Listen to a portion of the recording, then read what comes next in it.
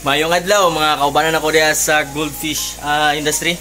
Ah, karon ako nang i-transfer ang ako ang kuan mga breeding. Transfer na ako sa akong gi ah, DIY na metal trapan.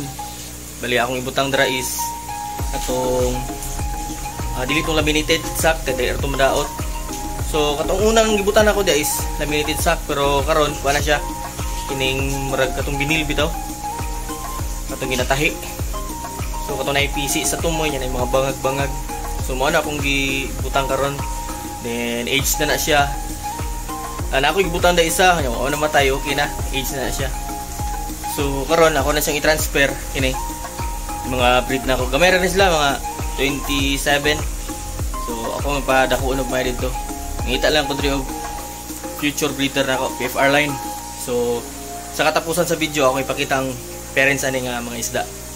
So balik ko yung mga kabi. Tara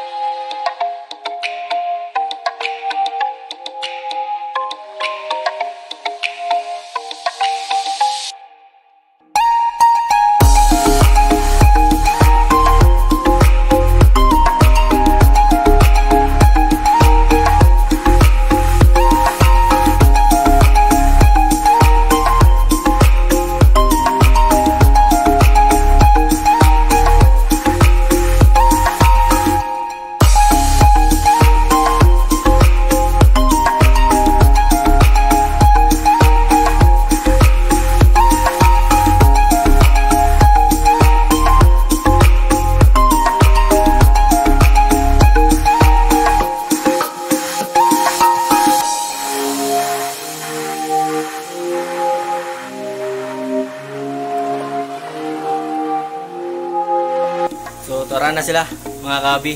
Ah, bali 27 kabuok sila no.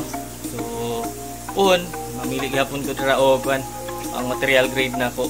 Then kung ay maka-interest na ako ra pong i-dispose pero so far sa karon mamili sa ako kay para man sa kuwang kuan ah, future na ko na PFR line. So tara, balik yung mga kabi kay akong i-release na inay sila.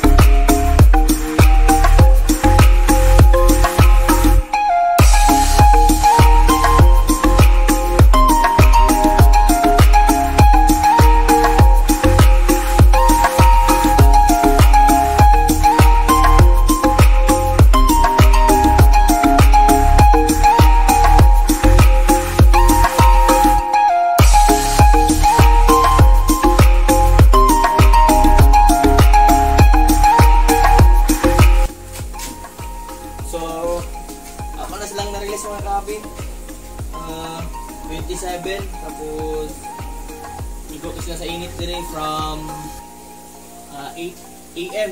to 2 p.m. Uh, igo kita tibuok nga trapan. So, wala na yung mula tulaton mga 2 weeks or 3 weeks. Siguro, kita na nato ang result. Bumbahan niya po na na sila og mga live foods. Then, steam egg. Kung wala yung mga available, pellets. So, salamat mga kabi, no?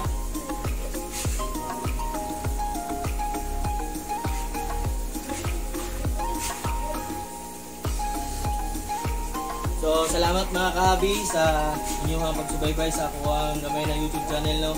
So, ta inyo agi ako pagahulaton o tanawon ang akong mga gina-upload na video. Ang sa sunod, dalay go ng Diyos.